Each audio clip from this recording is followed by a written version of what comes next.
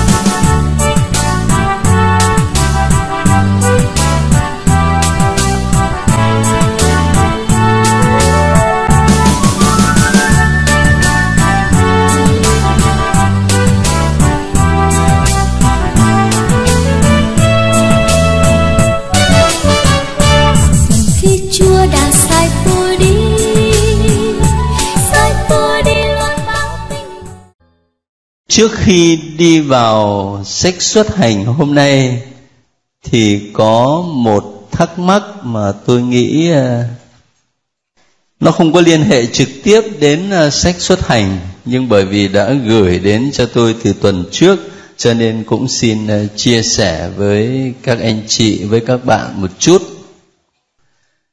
Nhân học cái bài về tổ phụ du xe đó rồi thì chúng ta gợi ý với nhau là mình cần phải kiếm tìm thánh ý thiên chúa trong cuộc đời của mình.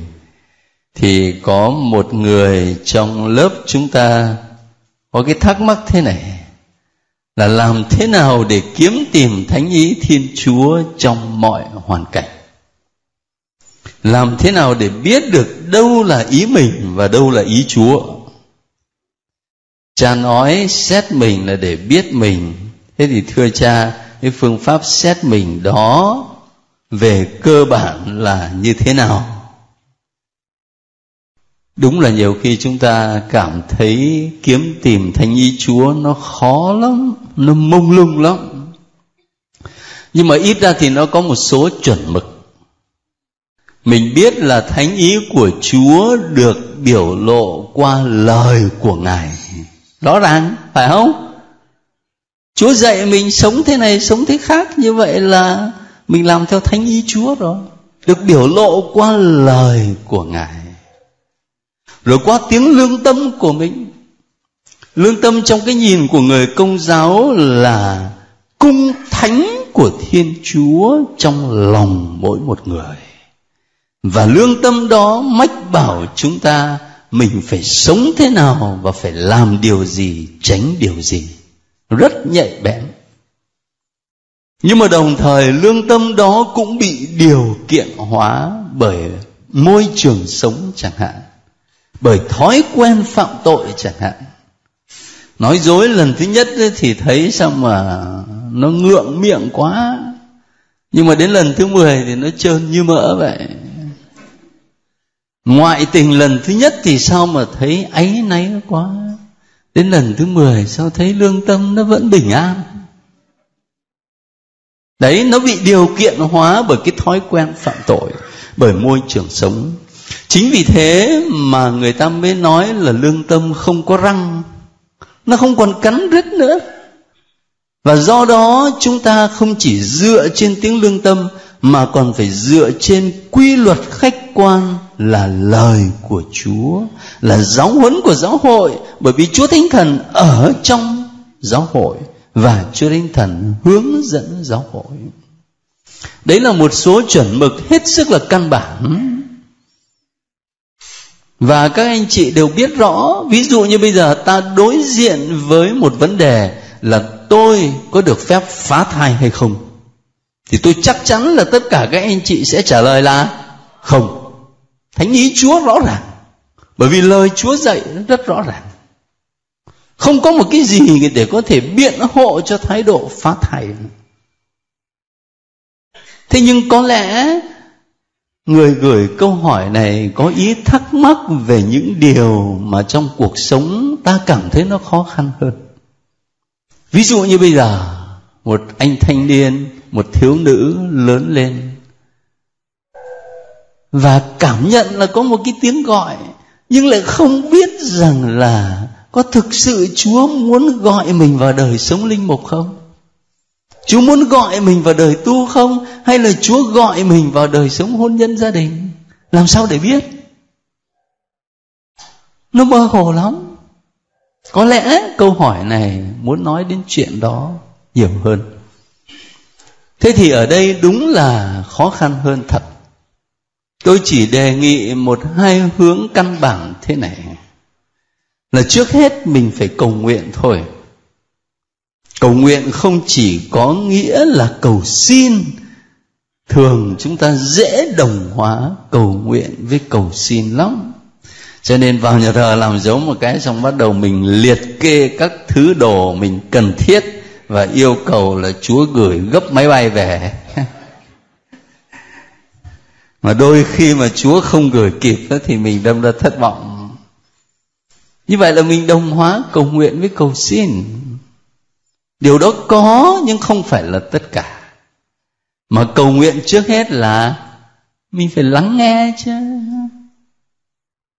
Tại sao mình không thưa với chúa rằng lệnh chúa, con đang hết sức băn khoăn không biết chúa gọi con vào đời tu hay vào đời sống hôn nhân gia đình. Con xin chúa cho con biết điều đó và nếu có thể, chúa cho con một dấu chỉ để con biết. Tại sao chúng ta không cầu nguyện như vậy? Và đấy chỉ là một ví dụ thôi còn trong nhiều hoàn cảnh khác mà các anh chị đang băn khoăn, thắc mắc, đi tìm thánh nhi chúa, tại sao mình không thưa với chúa như vậy?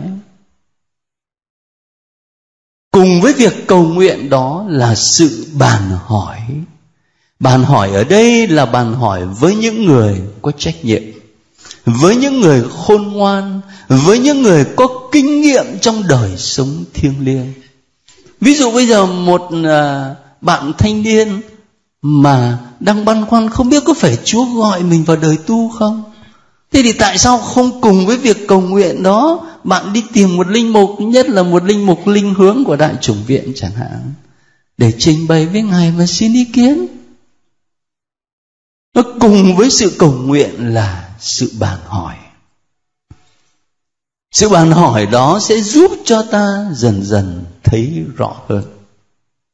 Và một điều nữa là mình cần phải có sự kiên trì trong thời gian. Nhiều khi mình cầu xin mà chúa không gửi ngay đâu, nhưng mà kiên trì từ ngày này qua ngày khác thì dần dần sẽ thấy nó rõ hơn. Đấy là một vài gợi ý nhân như thắc mắc của một người bạn trong lớp tôi chia sẻ chung với các anh chị về việc kiếm tìm thánh ý thiên chúa trong đời sống của mình. Còn cái việc xét mình thì tôi nghĩ là người công giáo nào mà chả quen. Rất đơn giản thôi.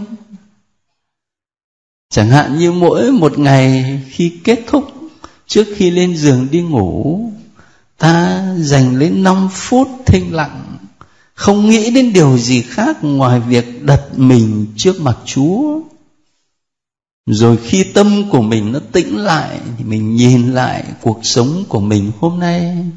Tôi đã gặp những ai? Tôi đã nói những gì? Tôi đã làm những gì? Tôi có làm cho ai phải đau khổ, phải buồn phiền? Tôi có gây thiệt hại cho ai không? Và ngày hôm nay như vậy tôi có sống theo tiếng gọi của chúa không? Hay là tôi sống theo cái cái tính xác thịt của mình, theo tính ích kỷ của mình? Thì tôi nghĩ các anh chị đều biết cái việc đó mà. Hả? Và cứ mỗi một ngày mà ta trung thành để xét mình như vậy đó, thì là dịp rất tốt. Bởi vì xét mình nó cũng chẳng khác như là mình soi gương. Trên mặt mình có nhọ nồi mà cứ vênh váo đi ra ngoài đường, tưởng là hoa hậu. Mà soi gương thì mới thấy. Xét mình cũng vậy xét mình là tạo một cái khoảng cách với chính bản thân để trong ánh sáng của chúa mình thấy mình rõ hơn. Và khi mà ngày nào ta cũng làm cái công việc đó đó, nó sẽ rất ích lợi cho đời sống đức tin của mình. Chứ còn nhiều khi một năm mình đi xưng tội một lần, có khi có anh chị vào tòa giải tội có nói là, Thưa cha, con xét mà anh chả thấy có tội gì. Thánh thiện vậy. Cả năm mà không thấy có tội gì cả. Bởi vì nhiều khi là quên hết rồi còn gì nữa. Ngoài những tội cực trọng, Chứ còn thường thường thì quên hết rồi. Nhưng có một người nói với tôi là muốn xét mình cho nó cẩn thận thì dễ lắm. Chuẩn bị đi xưng tội đấy thì ông ấy về, ông chọc bài sau đó là ông vào giường, ông nằm thì sẽ nghe bài kể hết tội của ông từ đầu năm cho đến cuối năm. Không sót tội nào. Đấy cũng là cách xét mình tốt. Nào, thế bây giờ ta vào sách xuất hành nha thực sự là có nhiều chuyện để muốn chia sẻ với các anh chị. Trước hết tôi hỏi cả lớp thế đối với người Kitô hữu nói chung và người công giáo nói riêng đó, thì trong một năm chúng ta có rất nhiều ngày lễ, nhưng mà lễ nào là quan trọng nhất? Lễ phục sinh, chắc không? Tôi rất là mừng khi mà nghe các anh chị và các bạn trả lời như vậy, là lễ phục sinh. Đúng vậy bởi vì nhiều người công giáo sẽ trả lời là lễ giáng sinh. Bởi vì noel nó mới rực rỡ, noel nó mới vui chứ, noel mới hấp dẫn. Nhưng mà thực ra thì lễ phục sinh mới là lễ quan trọng nhất. Nếu lễ phục sinh có tầm quan trọng như thế nào đối với đời sống đức tin Kitô giáo của chúng ta, thì biến cố xuất hành cũng có tầm quan trọng như thế đối với dân Israel. Nói như thế là ta hiểu rồi. Cho nên trong những tuần sắp tới đây, bắt đầu từ hôm nay, ta tập trung để tìm hiểu sách xuất hành thì các anh chị quan tâm bởi vì ở đây không chỉ là cái chuyện mà đọc một câu chuyện lịch sử quá khứ để tìm hiểu về tầm quan trọng của sách xuất hành đối với dân Israel, mà là có một mối liên hệ mật thiết giữa biến cố xuất hành với Kitô giáo của chúng ta. Cho nên mình nên quan tâm và có rất nhiều bài đọc thánh kinh hàng năm trong nhiều dịp lễ được từ sách xuất hành. Và vì thế, khi ta hiểu sách xuất hành, thì mình sẽ tham dự vào những giờ phục vụ đó một cách sâu sắc hơn và tích cực hơn. Ở trong cuốn sách thánh kinh, một trăm tuần mà cả lớp ai cũng có đó, thì là tôi đề nghị với các anh chị vì ở đây không có nhiều giờ cho nên ờ, về nhà chịu khó đọc cái phần mở đầu đó. Ở trang 59 đó. Cho đến trang 62 tác giả của phương pháp thánh kinh 100 tuần này, trong phần đầu sách xuất hành, rất tốt cho chúng ta một cái nhìn mang tính tóm lược về nội dung của sách xuất hành từ đầu cho đến cuối. Hôm nay mình chỉ có 7 chương thôi, nhưng mà cái phần dẫn nhập này cho mình một cái nhìn tổng quát từ đầu cho đến cuối. Rồi đến trang 60 đó, thì ngài phân chia ra về nội dung của sách xuất hành thành bốn phần phần thứ nhất từ chương nào đến chương nào. Phần thứ hai từ chương nào đến chương nào. Và mỗi chương có những điểm nào quan trọng. Cho nên về nhà có giờ chịu khó đọc lại để trước khi bước vào sách xuất hành, ta có một tầm nhìn chung mang tính tổng quát như thế. Thế còn ở đây đó, thì riêng tôi là tôi gửi cho các anh chị, cái bản văn đã soạn sẵn thế này để gợi ý những điểm mà tôi cho là quan trọng nên quan tâm đặc biệt. Thành thử bây giờ chúng ta sẽ làm việc trên cái bản văn đó. Trước hết cũng như đối với mọi cuốn sách, mình phải có một cái nhìn tổng quát về bảy chương sách mà tuần vừa rồi mỗi người trong lớp đều đọc. Và hơn nữa còn chia sẻ với nhau cái cảm nghiệm đức tin của mình khi mình đọc bảy chương đầu của sách xuất hành để cho có một cái nhìn liên tục đó, thì xin nhắc lại với các anh chị câu chuyện của bảy chương đầu này. Ngay ở chương 1 mà trong bảy câu đầu tiên, nó là phần dẫn nhập vào sách xuất hành có còn nhớ là kết thúc của sách sáng thế đó, là ta đã thấy dân Israel định cư bên Ai Cập.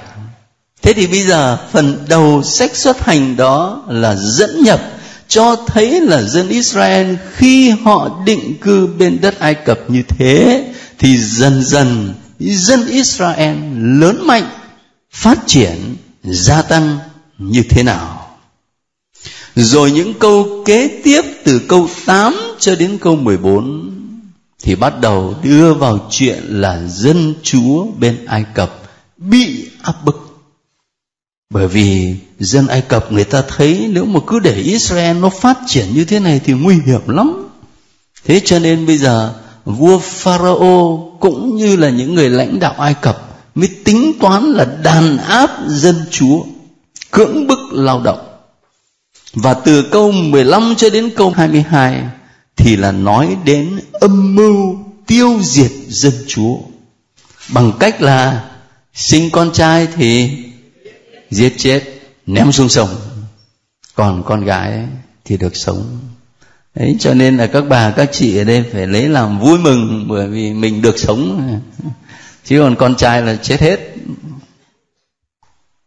Sang đến chương 2 từ câu 1 đến câu 10 thì ta có một câu chuyện hết sức hấp dẫn và thơ mộng. Cái câu chuyện về mô xê được sinh ra. Có điều mình nên quan tâm đó là trong chương trình của chúa thì lạ lùng. Bởi vì mô xê sau này được chúa chọn làm nhà lãnh đạo của dân israel. Thế thì một cách rất là độc đáo, chúa đã chuẩn bị cho mô xê được đào tạo để trở thành một nhà lãnh đạo. Bằng cách là ông ấy lớn lên trong trong hoàng triều chứ không phải là trong một gia đình thường dân. Ông ấy lớn lên và ông ấy được giáo dục ở trong hoàng triều như là các công chúa rồi thì các uh, hoàng tử được lãnh nhận cái nền giáo dục đó. Chúa chuẩn bị một cách rất là độc đáo. Thế nhưng sang đến câu 11 cho đến câu 22 thì nói đến chuyện là Môsê phải chạy trốn. Mà làm sao phải chạy trốn vậy? Là bởi vì bị phát hiện ra là đã giết một anh ai cập giết một anh ai cập ông ấy biết là mình đã bị phát hiện rồi, cho nên phải chạy trốn đến Midian còn từ câu 23 đến 25 thì mô tả cho ta thấy là Thiên Chúa nhớ đến dân của người. Bước sang chương 3 là chương rất quan trọng. Thì từ câu 1 đến câu 6 là trình thuật về ơn gọi của Mô-xê. Chúa hiện ra với Mô-xê từ trong bụi gai bốc lửa nhưng mà không bị thiêu rụi. Và Chúa kêu gọi ông. Rồi từ câu 7 đến câu 15 nói đến việc là Chúa mặc khải danh thánh của Ngài và trao phó sứ mạng cho Môsê bởi vì cái phần này rất là quan trọng cho nên một lát nữa tôi sẽ tập trung để khai triển cái phần này cho các anh chị. Sang đến chương 4 đó khi Chúa trao trách nhiệm cho Mô-xê thì Chúa chấn an ông ấy, bởi vì ông sợ lắm. Đang là thân phận của một anh chạy trốn mà bây giờ Chúa lại bảo quay trở lại Ai Cập để đưa dân Chúa ra khỏi đất nô lệ làm sao mà ông làm nổi? Sợ lắm. Thế thì Chúa chấn an ông ấy bằng cách ban cho ông ấy quyền năng để làm những dấu lạ. Và từ câu 18 cho đến câu 31 thì nói đến chuyện Mô-xê trở về Ai Cập. Và sơ sơ tôi nhìn thấy những thắc mắc gửi cho tôi, thì ít nhất là đã có hai thắc mắc liên quan đến cái chương 4 câu 24 cho nên các anh chị mở luôn, tôi cắt nghĩa luôn quả thật là cái câu đó khó hiểu.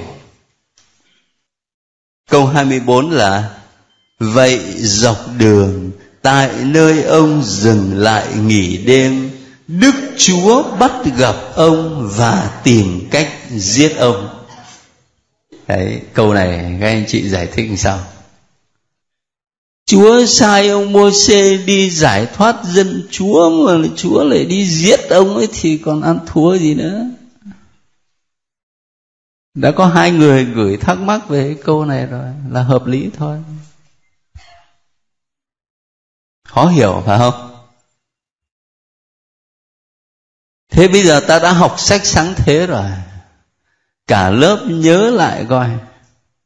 Tổ phụ gia cóp có một cuộc vật lộn với ai?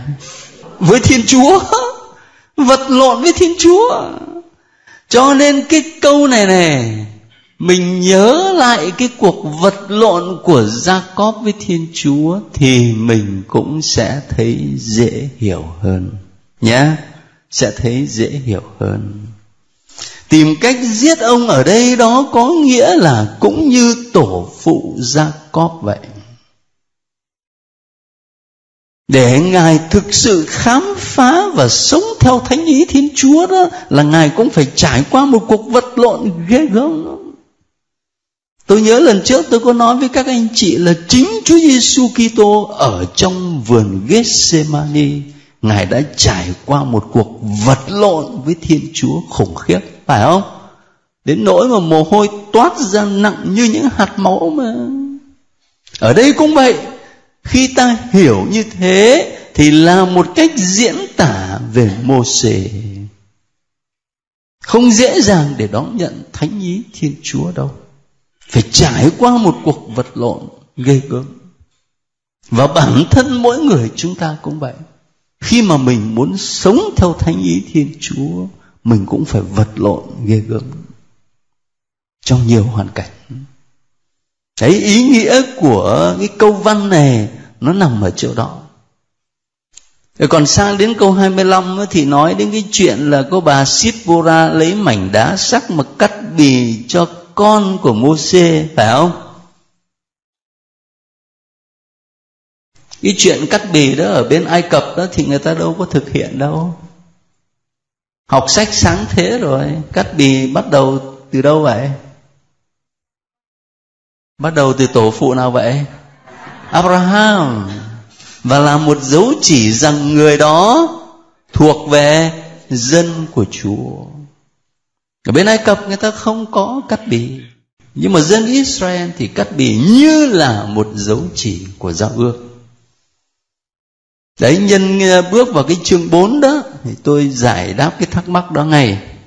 Rồi chúng ta đi tiếp thì thấy ở chương 5 là Môse có cuộc hội kiến đầu tiên với Pharaoh để đề nghị ông ta để cho dân Chúa ra đi. Sang đến chương 6 đó thì có một trình thuật khác về ơn gọi của Môse.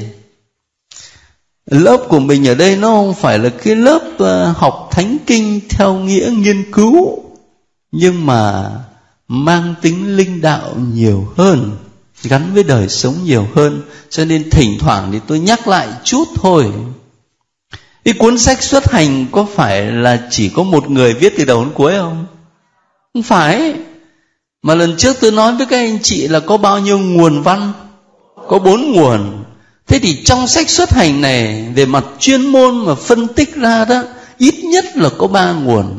Nguồn thứ nhất đó là nguồn Elohis, nguồn thứ hai là nguồn Javis và nguồn thứ ba là tư tế.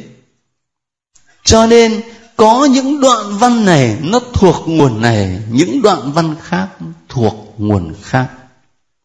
Và cũng vì thế mà ta đã có cái trình thuật về ơn gọi của Môse ở chương 3 rồi, nhưng xa đến chương 6 ta lại có một trình thuật khác về ơn gọi của Môse những nguồn văn đó nó đan xen với nhau, làm nên một tác phẩm ta không cần phải đi sâu lắm vào chuyện này, nhưng mà nhân nói đến một cái trình thuật khác về ơn gọi của Môse thì tôi nhắc các anh chị thế thôi. Rồi phần cuối của chương 6 thì nói đến gia phả của Môse và Aaron. Thế bây giờ ta sang một cái điểm lớn đó là về tầm quan trọng của sách xuất hành. Tôi viết cho các anh chị ở trong bản văn về ý nghĩa của sách xuất hành. Biến cố xuất hành là tâm điểm kinh nghiệm đức tin của dân Israel. Các anh, các chị gạch dùng tôi cái từ kinh nghiệm đức tin. Nhấn mạnh đến cái kinh nghiệm. Chứ không phải là lý thuyết. Tôi lấy một ví dụ để cho nó dễ hiểu. Khi ta học thần học, ta thấy nói đến ngũ đạo của thánh tô ma ngũ đạo có nghĩa là năm con đường năm con đường mà qua đó người ta có thể khám phá ra sự hiện hữu của thiên chúa ví dụ, một con đường. Bất cứ một vật gì nó di chuyển thì nó phải được di chuyển bởi một vật khác, bởi một cái khác. Ví dụ, cục phấn trong tay tôi, nó đang đứng yên này, tự nhiên nó di chuyển. Là nó di chuyển bởi bởi tay tôi, bởi tay tôi, chứ đâu phải tự nó. Và cái tay tôi di chuyển là nhờ đâu? Nhờ cái hệ thống thần kinh chứ. Chứ nếu một ngày nào đó mà mình mà bị à, bệnh gì ở tai biến mạch máu não cái từ nghe rất là khoa học. Bị tai biến như vậy hệ thần kinh của mình nó không có làm việc được thế thì tay mình nó nó, nó xuôi ra rồi nó khô bại thì mình đâu có thể làm cho cục phấn nó chuyển động được. Đấy bất cứ một cái gì nó chuyển động là nó được chuyển động bởi một cái khác và khi mà người ta cứ như thế cứ như thế lần cho tới cùng thì phải đến cái mà thánh tô ma gọi là động cơ đầu tiên. Hả? Và động cơ đầu tiên đó chính là là thiên chúa. Thế nhưng mà khi ta chứng minh như vậy thì, thì thì ta cũng chứng minh được là ừ thiên chúa hiện hữu có điều, mình chả cảm thấy ngài liên hệ gì đến mình. Chúa hiện hữu thì thì kệ chúa. Còn, con có mặt kệ con, nó có liên hệ gì với nhau đâu. Thấy không? Nó chỉ ở cái đầu lý thuyết. Còn ở đây thì không. Ở đây đó là người ta nhấn mạnh đến kinh nghiệm, đức tin. Dân israel kinh nghiệm về sự hiện diện và hành động của thiên chúa. Và người ta có kinh nghiệm đó là nhờ đâu? Là nhờ sự can thiệp của thiên chúa vào trong lịch sử của họ. Cũng giống như các anh chị có kinh nghiệm về thiên chúa, khi các anh chị cảm nghiệm rõ ràng, đáng nhẽ tôi chết một trăm phần trăm mà tôi không ngờ tôi sống. Và qua cái biến cố đó tôi cảm nghiệm rõ ràng là có chúa và chúa hoạt động trong đời của tôi. Đấy. hoặc là bây giờ mình gặp một cái chuyện khó khăn nào đó mà ai cũng nói là không còn đường thoát, chỉ còn biết cầu xin thôi. Và nhờ cái sự cầu xin đó mà mình qua khỏi được cái tai nạn và chính cái kinh nghiệm nó cho mình thấy là chúa có mặt ở trong cuộc đời của mình. Thế thì lúc bây giờ, cái kinh nghiệm nói với chúng ta về chúa là một đấng rất là sống động, chứ không phải là một ý tưởng trừu tượng và xa lạ. Anh chị thấy sự khác biệt không? Cho nên tôi mới xin cả lớp là gạch dùng tôi cái từ kinh nghiệm ở đây. Kinh nghiệm đức tin biến cố xuất hành chính là tâm điểm kinh nghiệm đức tin của dân israel. Và chính vì là tâm điểm, cho nên trong mọi hoàn cảnh của lịch sử, người ta vẫn quy chiếu về biến cố xuất hành. Để tìm ra thánh ý thiên chúa, để tìm ra tiếng gọi của thiên chúa tôi lấy một ví dụ nhé tôi có viết cho các anh chị à, là sách Isaiah chương 40 câu 3 Nếu ai quen thì có thể mở ra chương 40 câu 3 của Isaiah. Cái bản văn này mùa chay năm nào chúng ta cũng đọc hết đó. Nhưng mà tôi dám bảo đảm là mình đọc, mình nghe thoáng qua thôi chứ mình không có hiểu. Mình nhất là mình không có cảm được. Ở chương 40 câu 3 này, Isaiah viết, có tiếng hô trong sa mạc hãy mở một con đường cho đức chúa. Giữa đồng hoang hãy vạch một con lộ thẳng băng cho thiên chúa chúng ta. Mùa vọng chúng ta cũng nghe cái bản văn này mọi thung lũng sẽ được lấp đầy, mọi núi đồi sẽ phải bạt xuống, nơi lồi lõm sẽ hóa thành đồng bằng, chốn gồ ghề nên vùng đất phẳng phiêu trong sa mạc hãy mở một con đường cho Đức Chúa. Khi Isaiah loan báo bằng những lời này đó là Ngài có ý ám chỉ về về cái biến cố xuất hành. Tại sao vậy? Là bởi vì mình phải đặt sách Isaiah vào trong bối cảnh lịch sử thì sẽ thấy là lúc bấy giờ dân Israel đang sống trong cảnh lưu đày, giống y như là dân Israel bị làm nô lệ bên đất Ai Cập. Và trong cái cảnh lưu đày đó thì người ta thất vọng nếu không nói là tuyệt vọng. Và chính lúc mà người ta tuyệt vọng như vậy đó, thì tiên tri Isaiah gợi nhớ cho người ta về biến cố xuất hành. Là lúc mà Chúa mở một con đường giữa giữa đại dương, giữa đại dương để giải thoát dân Chúa. Và từ đó ngài mới có thể giảng cái câu này. Trong sa mạc hãy mở một con đường cho Đức Chúa, giữa đồng hoang hãy vạch một con lộ thẳng băng mình không học sách xuất hành, mình đọc cái câu này, mình thấy đâu có thấm gì. Nhưng mà khi mình đọc mà mình hiểu sách xuất hành, mình đọc cái câu của Isaiah này, mình sẽ thấy là à ngài quy chiếu về cái kinh nghiệm, đức tin mà dân Chúa đã có ở trong thời xuất hành. Để ngài nói về cái thời lưu đày ngày hôm nay. Hy vọng đi, đừng có tuyệt vọng.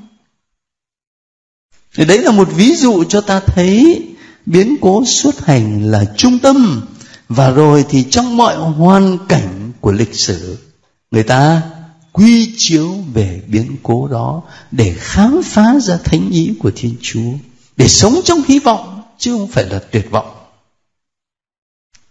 Thế thì đồng thời cũng ở trong sách xuất hành đó, Israel bắt đầu xuất hiện rõ ràng là dân của Chúa qua giao ước được ký kết ở trên núi Sinai. Và cái điều mà các anh chị nên quan tâm là chỗ này. Israel được chọn là dân của Chúa, lúc bây giờ đó, họ đã trở thành một dân tộc hùng cường chưa? Đang làm nô lệ mà. Đang làm nô lệ mà. Lấy đâu đâu mà hùng cường? Cho nên khi mà Chúa chọn họ làm dân của Ngài đó thì chẳng phải bởi vì cái dân này nó hùng mạnh, chẳng phải bởi vì dân này nó tài năng, không có. Mà chỉ bởi vì tình thương. Sau này Môse nhắc cho người ta nhớ điều đó luôn luôn. Thế thì ngày hôm nay đối với chúng ta không phải là dân Do Thái mà mình là người Kitô hữu, là môn đệ của Chúa Giêsu Kitô. Mình đọc và học hỏi sách xuất hành, thì mình cần phải nhìn thấy một điều khác hơn nữa là thế này tức là biến cố xuất hành là tín hiệu báo trước ơn cứu độ được hoàn thành trong Chúa Kitô. Bây giờ thì tôi xin cả lớp lấy thánh kinh ra mà mở tân ước. Thỉnh thoảng tôi xin các anh chị mở tân ước ra để đối chiếu thì thấy là khi mình học cựu ước á, học sách xuất hành cũng như các sách khác trong cựu ước có liên quan đến tân ước đến Chúa Kitô làm sao ta lấy tin mừng Luca nhé ở chương 9 bởi vì tôi muốn mọi người phải đọc và phải nhìn vào cái bản văn này. Có một chi tiết rất nhỏ mà các anh chị có lẽ ít quan tâm lắm. Chương 9 mà câu 28 Chúa Giêsu hiển dung đó. Ta đọc đến câu 31 thôi. Khoảng 8 ngày sau khi nói những lời ấy Đức Giêsu lên núi cầu nguyện Đem theo các ông Phêrô, Gioan và Giacôbê đang lúc người cầu nguyện, dung mạo người bỗng đổi khác, y phục người trở nên trắng tinh chói lòa. Và kìa, có hai nhân vật đàm đạo với người, đó là ông Môsê và ông Elia hai vị hiện ra, rạng ngời vinh hiển và nói về cuộc xuất hành người sắp hoàn thành tại Jerusalem. Rồi. Chúa Giêsu hiện dung có hai nhân vật của cựu ước có mặt là ai? Môse nhá. Ừ. và Elia. Ở trong sách xuất hành nhân vật quan trọng nhất là ai? Môse thấy không? Rồi ở cái câu 31 đó, có ai để ý không? Hai vị hiện ra rạng người vinh hiển và nói về cái gì? Xuất hành. Các anh, các chị nghe câu chuyện tin mừng này bao nhiêu lần, có bao giờ để ý đến cái từ xuất hành này không? Chắc không bao giờ không chừng ờ, tôi dạy học cho các linh mục trẻ tôi cũng lại hỏi các cha giảng bao nhiêu lần các cha có bao giờ để ý cái từ xuất hành này không xuất hành cái cuộc xuất hành mà Chúa Giêsu sắp hoàn thành tại Jerusalem. Cuộc xuất hành này là gì? Là cuộc khổ nạn, là cái chết, là sự phục sinh của Chúa mà chúng ta gọi là mầu nhiệm vượt qua. Thấy chưa? Cho nên, trong cái nhìn của người Kitô hữu chúng ta thì cuộc xuất hành tiên báo ơn cứu độ được hoàn thành trong Chúa Kitô. Tôi không có ghi chú cái đoạn ờ, Thánh Kinh Tân Ước Luca này ở trong bản văn cho các anh các chị. Các anh các chị lấy bút mà ghi vào nhé. Mai mốt có đọc lại thì dễ nắm. Hoặc là có muốn giúp ai đó thì có một cái điểm mà quy chiếu chứ nếu không đó lúc ấy lại lật từ đầu đến cuối mà đọc thì không biết kiếm ở đâu ta cứ đề vào là Luca chương 9 28 đến 31 là đủ rồi cuộc xuất hành của Chúa thế thì cái biến cố xuất hành mà ta học hỏi đây này không chỉ gợi hứng cho người Do Thái, người Israel mà thôi, mà còn gợi hứng cho cả những suy tư và hành động đức tin của người Kitô hữu ngày hôm nay nữa. Tôi lấy một cái ví dụ ghi ở trong văn bản cho các anh chị, đó là thần học giải phóng. Thỉnh thoảng có khi mình đọc báo đọc sách đó, cũng nghe người ta nói Thần học giải phóng là một phong trào thần học phát triển rất mạnh ở bên châu Mỹ Latin. Bây giờ thì hình như là xuống rồi. Nhưng mà đại khái đó, người ta được gợi hứng từ sách xuất hành. Là bởi vì sách xuất hành mô tả dân của Chúa ở trong cái cảnh nô lệ, cảnh bị đàn áp, cảnh bị ức hiếp, cảnh mất tự do. Và thiên chúa đã xuất hiện để giải thoát họ. Cho nên qua cái biến cố xuất hành đó thiên chúa mặc khải chính mình là đứng giải thoát đứng giải phóng nhiều người công giáo thích cái từ giải thoát hơn là giải phóng bởi vì cái từ giải phóng thì nó do bối cảnh xã hội nó đậm nét chính trị Thế qua biến cố xuất hành người ta kinh nghiệm được Thiên Chúa là đứng giải thoát. Thế thì các nhà thần học giải phóng này này, họ được gợi ý từ cái biến cố đó, từ sách xuất hành. Họ nhìn vào trong cái khung cảnh đất nước của họ ở châu Mỹ Latin, đa số là những người dân sống trong đói nghèo. Và vì thế, họ muốn trình bày một thiên chúa là đứng để đến để giải thoát dân của ngài khỏi cảnh đói nghèo, khỏi cảnh bị áp bức về kinh tế, khỏi cảnh làm nô lệ về kinh tế một cái ý tưởng rất là hay nhưng mà phong trào này bị tòa thánh Roma lưu ý một cách đặc biệt. Lý do là vì thế này. Là nếu mà chúng ta chỉ trình bày thiên chúa như là đứng đến để giải thoát người ta về mặt kinh tế, vật chất, xã hội mà thôi, thì đã đủ chưa? Chưa đủ. Chưa đủ và lúc bây giờ Kitô giáo thì cũng chỉ là một phong trào xã hội thôi.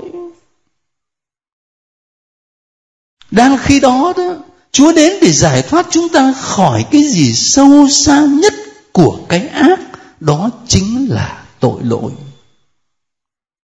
mà mình không có nhấn mạnh đủ lên điều đó thì chưa được thế cho nên lúc nãy ta đọc tin mừng Luca đó thấy nói đến cái cuộc xuất hành sắp tới của Chúa Giêsu thì chính là cuộc khổ nạn, cái chết và sự phục sinh. Cái nơi mà Chúa dẫn chúng ta đến không phải chỉ là một xã hội thịnh vượng về mặt vật chất, mà nơi Chúa dẫn chúng ta đến là ơn phục sinh là ơn phục sinh, là sự sống vĩnh hằng. Thế cho nên tôi mới ghi cho các anh chị là phải đặt cái biến cố xuất hành này trong tương quan với mầu nhiệm khổ nạn và phục sinh của Chúa Kitô thì mới có thể hiểu được đúng ý nghĩa của biến cố. Trong nhãn quan Kitô giáo. Chứ nếu không thì chúng ta chỉ hiểu có một nửa. Thế nói đến tầm quan trọng của sách xuất hành vào thời đó cũng như là ngày hôm nay Ờ, xin gợi một vài cái ý tưởng. Thế còn bây giờ thì mời cả lớp tập trung vào cái phần quan trọng của chương 3 đó, tức là ơn gọi của Môsê. Các anh chị lấy xuất hành chương 3 nhé từ câu 1 mà cho đến câu 15 dài lắm nhưng mà chúng ta nên cùng nhau đọc một lần và tập trung vào cái đoạn văn này. Bấy giờ, ông Môsê đang chăn chiên cho bố vợ là Jitro, tư tế Madian. Ông dẫn đàn chiên qua bên kia sa mạc, đến núi của Thiên Chúa là núi Khoreb thiên sứ của đức chúa hiện ra với ông trong đám lửa từ giữa bụi cây. Ông Môsê nhìn thì thấy bụi cây cháy bừng, nhưng bụi cây không bị thiêu rụi ông tự bảo, mình phải lại xem cảnh tượng kỳ lạ này mới được, vì sao bụi cây lại không cháy rụng đức chúa thấy ông lại xem, thì từ giữa bụi cây thiên chúa gọi ông mô xê mô xê ông thưa dạ tôi đây. Người phán chớ lại gần, cởi dép ở chân ra, vì nơi ngươi đang đứng là đất thánh. Người lại phán ta là thiên chúa của cha người, thiên chúa của abraham thiên chúa của isaac thiên chúa của jacob. Ông Môse che mặt đi vì sợ nhìn phải thiên chúa. Được rồi nhé. Bây giờ các anh các chị sang câu 13 coi.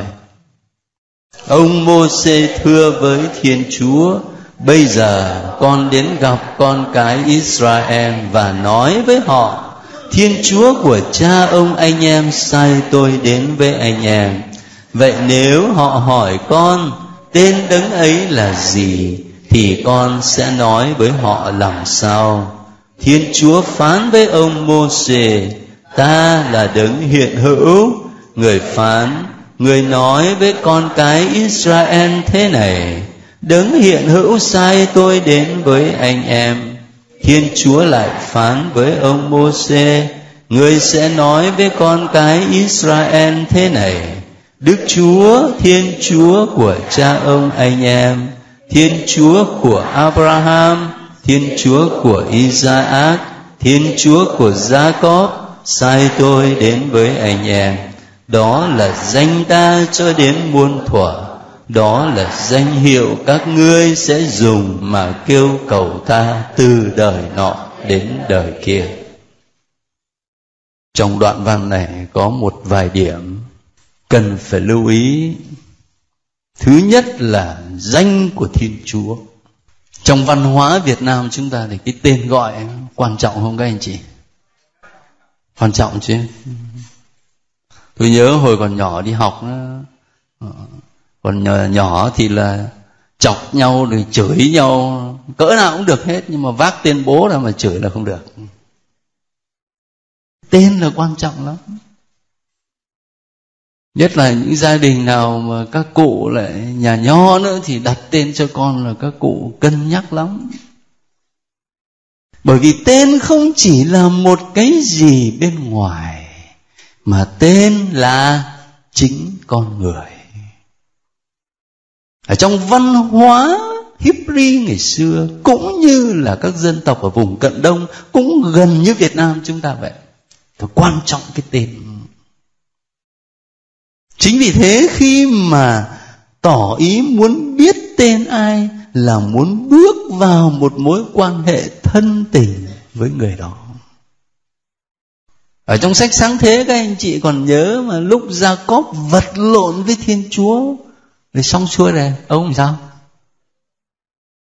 Ông đã hỏi tên, phải không? Ông hỏi tên. Ở đây cũng vậy Môse muốn biết tên của Chúa. Và khi Chúa trả lời thì vô cùng mầu nhiệm. Chúa trả lời thế này. Cả bốn chữ này đều là phụ âm, chứ không phải nguyên âm mà nếu không có nguyên âm ở đây thì mình có đọc được không? Chẳng hạn như bây giờ, thế này thì có đọc được không? Nhưng mà thế này thì có đọc được không? Đọc được không? Đọc được rồi. Có cái nguyên âm ở đó thì nó ra rồi. Nguyên phụ âm không đọc không ra. Đấy, chúa mặc khải lên như thế này. Rất là mầu nhiệm. Chúng ta quen đọc là Già về thêm phụ âm và mà đọc thành ra về nhưng mà bây giờ hỏi nghĩa ra về là gì? Cái cuốn sách mà các anh chị à, đang sử dụng này, cuốn kinh thánh của nhóm phụng vụ giờ kinh dịch là đức chúa. Chẳng hạn ngày ấy ra về thiên chúa dựng nên đất và trời thì bản này là ngày ấy đức chúa là thiên chúa dựng nên đất và trời. Tên chúa nghĩa là gì? Nhiều cách dịch lắm. Tôi nhớ khi học thánh kinh này có một giáo sư dịch là, ta là đứng ta là. Ta là đứng ta là. Mà thật, mở Latin ra người ta cũng dịch như vậy. Bản tiếng Pháp có khi người ta cũng dịch như vậy. Trong tiếng Việt chúng ta cũng có nhiều cách dịch và mỗi một cách dịch đều hàm một ý nghĩa thần học ở bên trong. Chẳng hạn như ta dịch, mặc khải của chúa, ta là đấng tự hữu. Một bản dịch khác, ta là đấng hằng hữu. Một bản dịch khác nữa, ta là đấng hiện hữu ở mỗi một cách dịch, hàm bên trong một ý nghĩa thần học. Ví dụ, ta là đấng tự hữu. Thì nhấn mạnh đến cái gì? Đấy, nhấn mạnh đến cái điều thiên chúa là đấng tự mình mà có. Còn các anh chị và tôi có tự mình mà có không? Mình mà để tự mình mà có nữa thì làm gì mà ngồi đây tất cả chúng ta và tất cả nhân loại, tất cả vũ trụ vạn vật này, cái hiện hữu của mình là được ban tặng từ đấng sáng tạo. Duy chỉ có thiên chúa là đấng tự mình mà có. Ta nhấn mạnh đến cái nội dung đấy. Còn khi dịch, ta là đấng hằng hữu, thì nhấn mạnh đến điều gì? Thiên chúa là đấng vô thủy, vô trùng đời đời. Hằng hữu.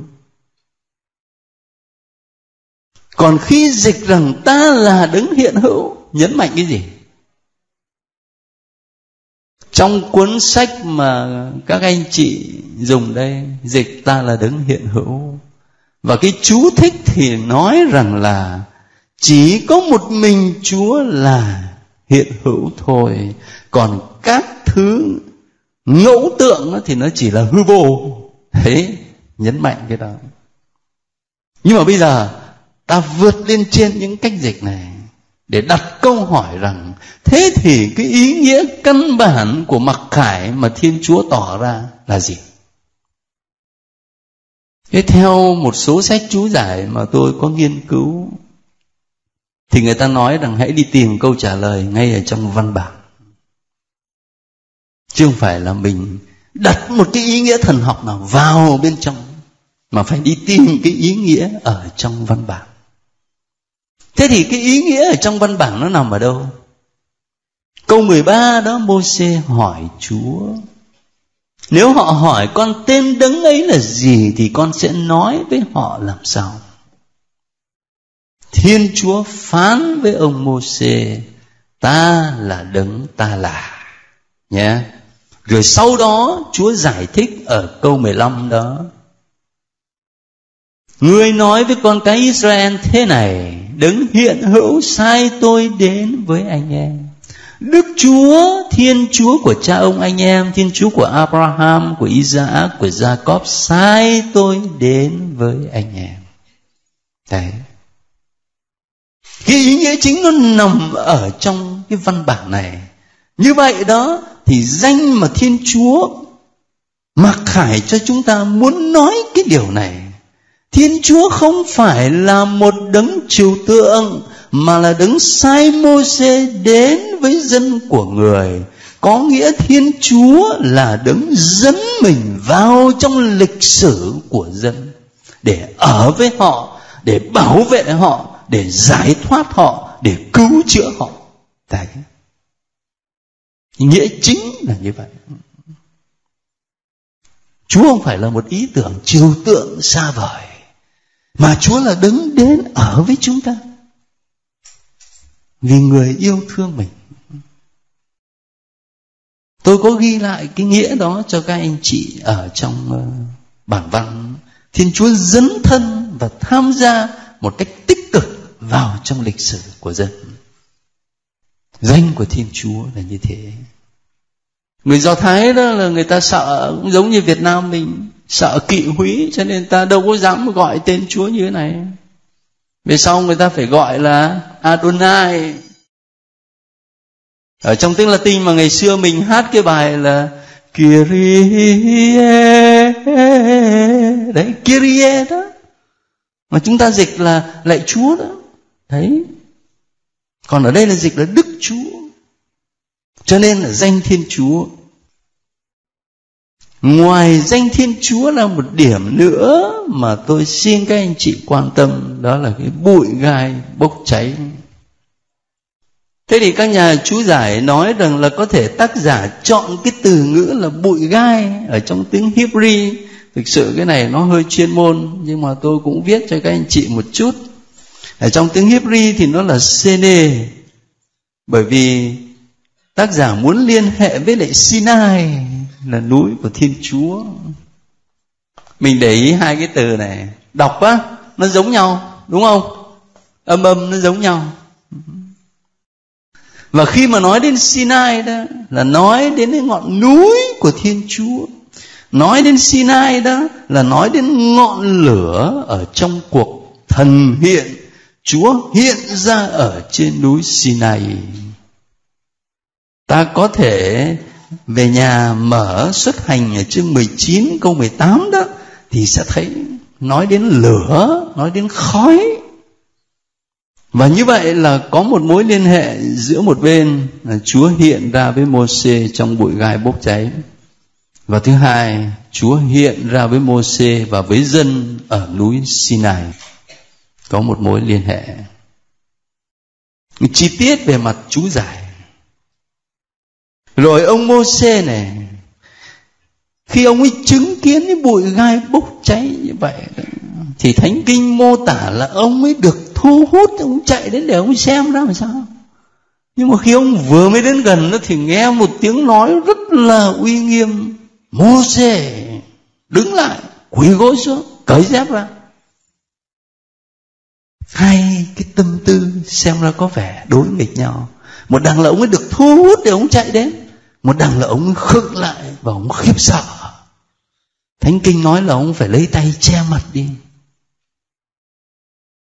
mai mốt mà các anh chị đọc cái trình thuật ơn gọi của các tiên tri Isaiah, Jeremiah, các anh chị cũng thấy như vậy. Một đằng đó là được thu hút và một đằng khiếp sợ. Đó cũng là kinh nghiệm của con người chúng ta về Thiên Chúa. Một đằng là ta kinh nghiệm chúa là đứng trí thánh đang khi đó mình hết sức tội lỗi, cho nên mình sợ hãi. Làm sao con dám đến gần chúa bởi vì con tội lỗi? Nhưng mà một đằng khác có thể mình được thu hút đến với chúa bởi vì chúa là tình yêu. Hai cái thái độ nội tâm về suy nghĩ thêm trong đời sống đức tin của mình. Cái cảm nghiệm của mình về thiên chúa, vừa là đấng yêu thương, vừa là đấng trí thánh. Thế rồi, khi thiên chúa tỏ mình cho mô xê ngài lập đi lập lại cái điều này. Thiên chúa của abraham, thiên chúa của isaac, thiên chúa của jacob như vậy có nghĩa không phải ngài chỉ là thiên chúa lúc mà ngài tỏ mình cho ông mô xê cũng không phải chỉ là lúc mà ngài tỏ mình cho Môi-se thì ngài mới bắt đầu dẫn thân vào trong lịch sử của dân Israel. Nhưng mà ngài đã dẫn mình vào lịch sử đó từ lâu rồi, phải không? Thiên Chúa của Abraham, của Isaac, của Jacob cũng là một vị Thiên Chúa đó, hằng quan tâm chăm sóc cho dân của Chúa.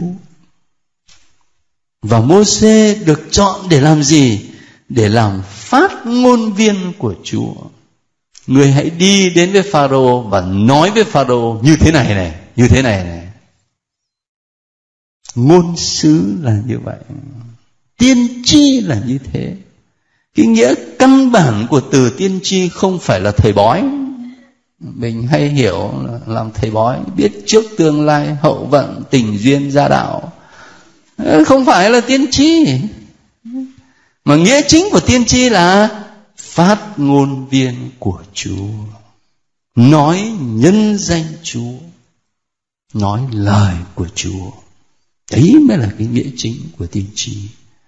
Và chúng ta thực hiện cái sứ mạng tiên tri đó trong đời sống Kitô hữu của mình. Khi mà mình trở thành người nói lời của Chúa cho con cái mình, cho anh em mình, cho bạn bè mình. Thì đấy là một vài cái gợi ý mà nếu các anh chị có giờ đó thì chịu khó đọc lại. Đọc lại cái đoạn thánh kinh đó rồi đọc thêm một vài cái gợi ý chú giải mà tôi phát thảo ra ở đây thì chúng ta hiểu cái bản văn cho nó kỹ hơn.